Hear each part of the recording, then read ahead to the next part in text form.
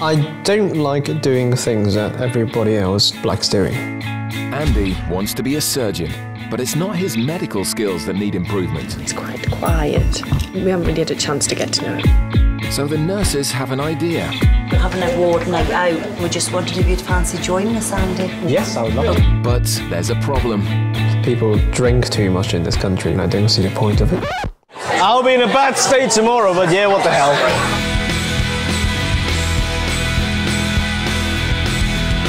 First impressions are very wrong. I thought he was very shy and quite reserved, but there's nothing reserved about them dance moves. Meet the Junior Doctors tonight at 2100, new and exclusive on BBC Knowledge.